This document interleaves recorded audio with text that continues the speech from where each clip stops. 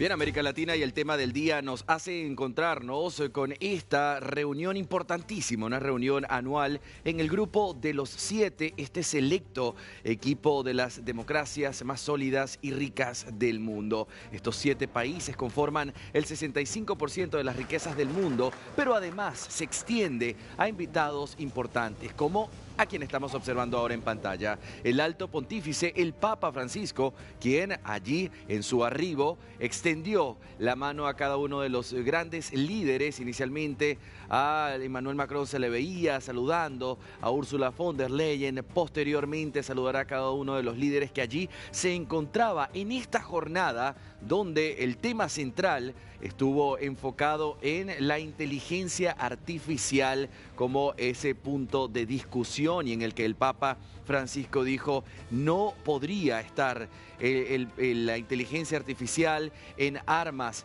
¿sí? o las armas a manos de la inteligencia artificial, es decir, que se haga con ética y con valores y que haya ciertos límites, que la inteligencia humana prevalezca por encima de todas las demás, palabras más, palabras menos, decía en su discurso, que en un ratito quiero que analicemos juntos. También en este discurso extendía la mano y en esta reunión extendía la mano a los dos presidentes invitados latinoamericanos, Ignacio Lula da Silva por Brasil y el presidente Javier Milei por Argentina, ambos presidentes que continuarían con su jornada, un presidente Ignacio que volvería a Brasil después de haber visitado Suecia y Suiza y también el presidente eh, Javier Milei quien posteriormente tras finalizar esta reunión pues arribaría para encontrarse allí con el presidente Volodymyr Zelensky en la cumbre de la paz por Ucrania. Todo esto ha pasado en el marco del G7, en esta importante reunión donde fue sorpresivo, debo admitir, que noticias como Hablábamos, por supuesto, esperábamos que se hablara temas centrales como Ucrania, como la migración, como, por ejemplo, la situación Rusia, Israel también.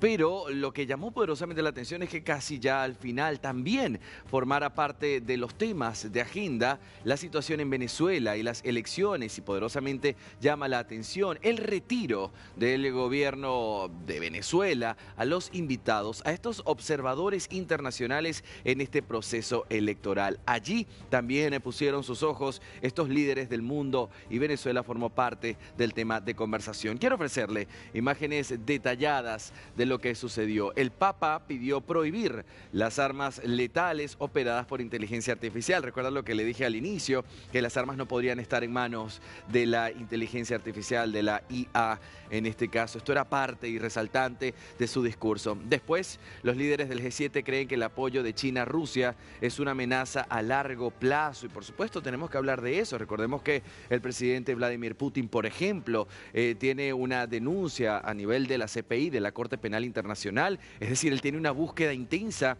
y en este caso, pues hace un mes exactamente Putin visitaba China y esta búsqueda, está eh, pedido, por supuesto, de, de prisión preventiva no se estaba llevando a cabo. Es decir, que esta alianza entre el gigante asiático y Rusia representa una amenaza para el resto del mundo. Esto en geopolítica y hablamos por supuesto de la Unión Europea y otras organizaciones como la OTAN. Ahora, quiero mostrarle a usted en pantalla, donde aquí estamos viendo por supuesto cómo saludaba el presidente eh, Joe Biden al Papa y ahora vamos a mirar imágenes de este momento icónico, que es justamente cuando todos los líderes que se reunieron estuvieron conversando unos con otros. Estas, estos breves segundos que les permitían saludarse. Vamos a observar en pantalla. Acá estaba el alto pontífice levantándose, por supuesto, el protocolo que forma parte de esta reunión de tres días y allí los vemos para esa foto icónica que marca, por supuesto,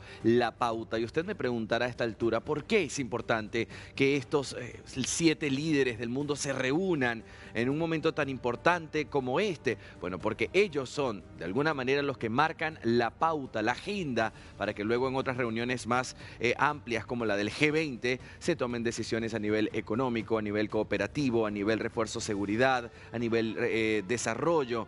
Y, eh, y, cómo marcan ellos esta agenda? Lo hacen a través de un comunicado que se leyó después de reunirse estos tres días, desde el 13 y hasta este fin de semana, donde continúa la situación. O sea, lo que está sucediendo en este momento, al otro lado, eh, o terminaba justamente de suceder, era esta importante cena entre los líderes. Pero ya comienzan todos al retorno de sus países y muchos de ellos pues se van a la cumbre de la paz. Todo esto, y ahí está la foto protocolar en la cumbre del G7. Nosotros acá en D News le dimos una cobertura realmente especial, in situ. Tuvimos a nuestra compañera Virginia Priano, quien recolectó toda la información desde el centro de prensa, que esta vez no estaba para nada cerca de donde se encontraban ellos allí reunidos en una ciudad vallada. Virginia Prano nos cuenta más detalles. Adelante. Buenas noches, Andy. El gusto en saludarte eh, nuevamente. Y un G7 que llega a su fin. Dos días intensos con esta cobertura especial desde Bari, desde la Puglia, en el sur de Italia muchos temas y muchas conclusiones en estos eh, dos días de trabajo de estos siete países, de estas siete democracias eh, poderosas del mundo. El día de hoy que estuvo marcado, por supuesto, con la presencia del Papa Francisco, su santidad llegó en helicóptero desde el Vaticano a las 12 del mediodía, antes de lo previsto, como suele caracterizar a este, a este Papa. Fue recibido por una Meloni muy sonriente que le agradeció en reiteradas oportunidades esta visita que además es histórica porque es la primera vez en la historia de un G7 que un Papa participa eh, de estas eh, discusiones. Un Papa que tuvo además una agenda cargada con 10 reuniones bilaterales, además de esta larga sesión. Una sesión que estuvo caracterizada por el tema central de la inteligencia artificial. Eh, un Papa que habló sobre la preocupación sobre el uso de la inteligencia artificial. Él, como dijo, es una herramienta fascinante, pero es una herramienta como toda cosa creada por el hombre que hay que tener cuidado porque puede ser utilizada para el bien para el mal. Y por eso llamó a la política, a la responsabilidad de los políticos eh, regular esta inteligencia artificial, esta tecnología, justamente como esta tecnología puede ser utilizada como una herramienta para democratizar, pero que también puede generar grandes desigualdades, sobre todo entre los países desarrollados y los países en vías de desarrollo. Un papa que a pesar de sus 87 años se lo vio muy sonriente, muy cómodo, saludó uno a uno en el ingreso de este salón, de este gran salón oval, eh, cuando él entró antes de dar su discurso sentarse al lado de la premier eh, Giorgia Meloni, que lo introdujo, que, le agradeció eh, y que además destacó su presencia y su figura. Y este saludo que además vimos el momento en que eh, lo saluda al presidente argentino Javier Milei, que Milei lo saluda con mucha efusividad, eh, con mucha alegría y cercanía. También el momento en que lo saluda el presidente de Brasil, Lula da Silva, y el momento del intercambio que tuvo con cada uno de los mandatarios y un día que además estuvo cargado por la presencia de mandatarios de América Latina, como bien lo venimos contando. Eh, una imagen eh, que también eh, fue llamativa y recorrió, que fue el ingreso del presidente Javier Milei a este borgo Ignacio, donde la premier Giorgia Meloni lo esperó, donde se saludaron con mucha alegría, hubo sonrisas, hubo momentos de hablar al oído uno, uno con otro, ella hablando en un perfecto eh, español y donde justamente le estaba marcando que había hecho un largo viaje hasta llegar a Italia para, participar. Recordemos que Meloni lo invitó especialmente eh, a Milei, eh, seguramente por la cercanía política e ideológica que entre ambos no comparten. Después una Meloni que también recibió a Lula con un saludo tal vez un poco más frío, más distante, pero bueno, que también fue otro de los mandatarios, ¿no? Que fue eh, invitado. Eh, un eh, G7 que tuvo muchos temas, entre ellos, por supuesto, Ucrania, que fue uno de los temas centrales. un Zelensky que agradeció eh, de manera personal eh, a Meloni, a Italia y a todo el grupo por el apoyo, donde además en el documento final, este largo documento de 36 eh, páginas, se destaca, por un lado, este préstamo hacia Ucrania para la reconstrucción y también, como manifiestan de manera expresa el texto, es este apoyo del G7 a Ucrania por tiempo indeterminado hasta que el conflicto se solucione. Un documento que también habla de Rusia eh, y como eh, el peligro que Rusia eh, representa para, el, para el mundo, una Rusia que además está siendo, digamos, castigada por parte del G7 por el congelamiento de, de los fondos, de los bienes, y es dinero por el cual se va a dar este préstamo ¿no? a Ucrania. Un documento que también habla de China y manifiesta o expresa el peligro comercial eh, que China está representando y también pone una alerta en el apoyo de China a Rusia. Especialmente habla de eh, los bancos chinos y también el apoyo de empresas eh, y fábricas a la construcción de armamento para Rusia. Además, en este documento se hace mención a Venezuela, algo que tal vez no estaba tan claro al inicio.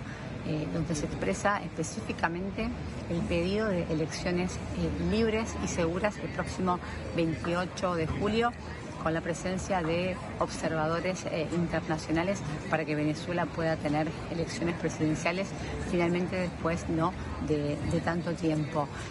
Y un G7 que termina reforzando de alguna manera la imagen de la Premier Giorgia Meloni, que ya llegó de, una manera reforzada y también se va.